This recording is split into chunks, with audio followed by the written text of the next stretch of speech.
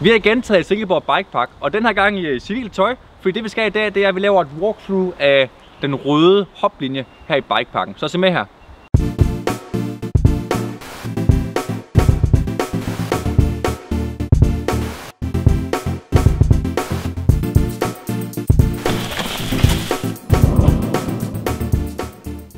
Hej og velkommen til MTB TV.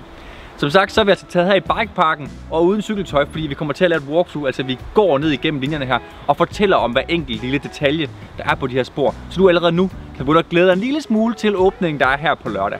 Det er altså ret vigtigt for os lige at påpege, at det er altså ikke i orden at køre, på, køre i bikeparken endnu. Den er altså stadig ikke lukket, den er våd, og gruset har ikke lagt sig endnu. Så det er altså meget, meget vigtigt, at I ikke endnu tager herud, selvom at det jo ser fedt og færdigt ud, så er det det altså ikke. Så lad nu være at tage herud inden tid. Men vi ses forhåbentlig på lørdag til åbningen. Men se med her, så viser vi jer alle de ting, I kan glæde jer til. Her er første feature allerede, og den kommer altså inden for de første 20 meter, som I måske kunne se i forrige klip. Øh, det her er jo mere et drop, eller i virkeligheden et flyout, og den kan altså rulle, så man tager den herover eller her. Der kan den altså rulles begge veje, så det er ikke fordi, det er en svær feature overhovedet. Det man kan sige til den, det er, at det er måske en lille smule speed check, fordi hvis du ikke kan komme hele vejen ned og lande hernede på sweet spottet, og måske ovenkøbet et godt stykke ned ad den, jamen så har du måske i virkeligheden heller ikke farten til at ramme de næste ting, der kommer. Så det er et godt sted lige at vurdere, jamen er jeg egentlig klar til at køre den her røde linje, allerede inden du faktisk har ramt de store ting på den. Den første svære, eller i hvert fald store feature, der kommer her på den røde linje, det er altså øh, det her hop. Hoppet starter herovre med et øh, relativt stejlt afsæt i forhold til, hvad vi er vant til her øh, med danske forhold. Så man skal altså lige have mod til at lade, virkelig lade cyklen flyve her. Den kan selvfølgelig, som jeg kan se, sagtens rulles, hvis man ikke har mod på det. Men hvad er måske så lige pointen i at køre den her linje? Øh, omvendt kan man sige, at der er ikke en stor konsekvens, skulle man ikke nå hele vejen over til landingen. Og der kan vi lige gå over nu. Landingen den er altså her, og øh, umiddelbart sådan er altså skridtet op til øh, 8 meter her. Så man skal altså flyve relativt langt for at lande på den fede landing. Og det er jo altså minimum 8 meter. Hvis du gerne vil have farten med dig videre, så skal du i virkeligheden måske tænke 9-10 meter for at kunne holde lidt fart ud af den her. Så man skal altså have mod til at flyve rimelig langt på den her.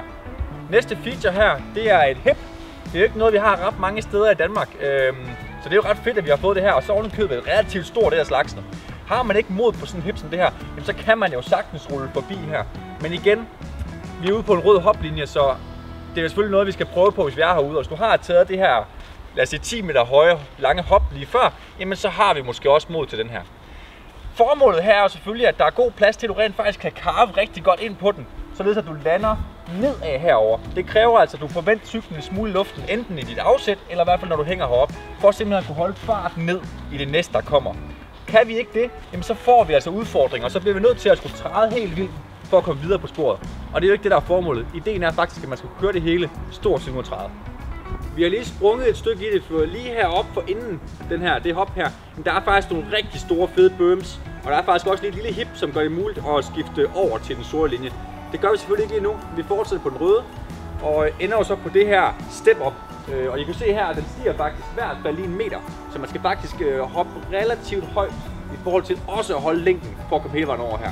Vi har skrevet den op til øh, en 7, 7 meter, noget af den stil. Øh, så man skal i hvert fald regne med at flyve 8-9 meter for faktisk at lande på sweet spottet, og dermed at kunne holde sin fart. Og som vi vil se lige om lidt, jamen, så er der faktisk ikke ret langt ned til næste hop. Så har vi ikke den fart med os, jamen, så får vi altså svært ved at clear den næste i hvert fald.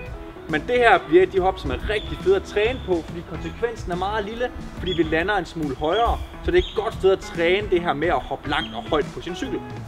Som I kan se, kameraet filmer altså lige fra landingen, jeg fortalte om lige før. Så vi kommer altså rigtig, rigtig hurtigt fra landingen og videre her til næste hop. Så det er derfor, som jeg sagde, det er altså vigtigt, at vi lander ordentligt derovre og kan komme hjem over, hvis vi vil holde farten og have en lille smule forhåbning om faktisk at blive det her hop også. Fordi her skal den altså have noget gas. Vi ved ikke, om vi kan se det her på filmen ordentligt, men afsættet her er altså helt vildt stejl. Hvilket altså gør det noget sværere at få længde på sit hop. Vi får selvfølgelig noget mere højde på, men det kan for selv også øh, være rigtig skræmmende. Vi har skrevet den op til omkring 4 meter, så regn med de her 5-6 meter faktisk for at clear den. Øh, I forhold til danske standarder, så er det altså et rigtig, rigtig langt hop. Øh, og med det afsæt her, så bliver det altså en udfordring for langt de fleste. Det appellerer selvfølgelig til at, at sige øh, nu her, at bikeparken er jo også lagt op til, at vi kører med ekstra meget sikkerhedsudstyr på. Det er måske værd at nævne i den her omgang. Øh, full face og, og rygskjold kan altså være en god idé for langt de fleste, mindre man er meget sikker på sin cykel.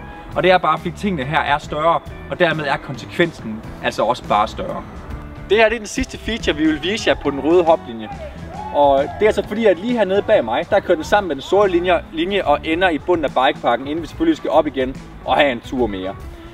Hoppet her, det er lige omkring 6 meter langt. Det vil sige, igen, du skal altså hoppe mellem 7 og 8 meter for at lande, hvor det virkelig er fedt og holde noget fart. Øh, det her er de, de, de gode hop at træne på, fordi det er meget kassehop. Den er rimelig flad på toppen, og afsættet er ikke sådan helt vildt stejl. Så det er de her steder, hvor vi virkelig kan få lov at arbejde med vores tryk og lære at tage mod til at hoppe længere og længere. Konsekvensen igen er altså ikke ret stor ved, at du ikke kommer hele vejen over. Så et rigtig godt sted at øve det her, inden vi skal over på den sorte. Så nåede vi i bunden af den røde linje, og vi håber, I holdt på hele vejen ned og kunne holde os ud. Og vi håber også, at det selvfølgelig gav jer lidt ekstra begejstring for bikeparken her, for det er sindssygt fedt herude. Det håber jeg også var tydeligt, selvom at det er på film, vi gør det. Det er mega fedt herude.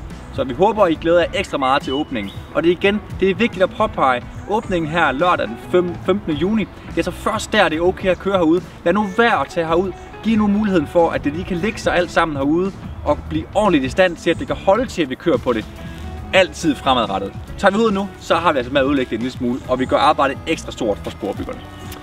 Men husk nu, det her event den 15. juni, det er altså kommunen, der har arrangeret det. Det bliver kæmpestort, det bliver mega fedt, og det bliver super, super hyggeligt. Så skynd dig at komme til det, hvis, øh, hvis du har mulighed for det. Har du ikke mulighed for det, eller har mulighed for at komme til næste weekend igen, så holder vi faktisk selv et arrangement den 22. juni. Det bliver mega hyggeligt. Vi kommer til at køre på de blå linjer. Der bliver noget slopestyle konkurrence, der bliver noget flow konkurrence, og det bliver bare mega hyggeligt generelt. Så skynd dig op, meld dig til det. Der ligger et link til vores arrangement lige her under filmen.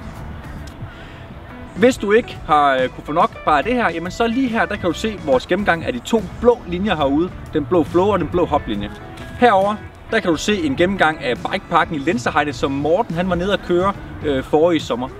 Og øh, hvis du ikke kan få nok endnu, så abonner på vores kanal her. Der kommer der altså allerede i morgen en film op af den sorte hoplinje, så skynd dig at abonnere og følg med der. Vi ses.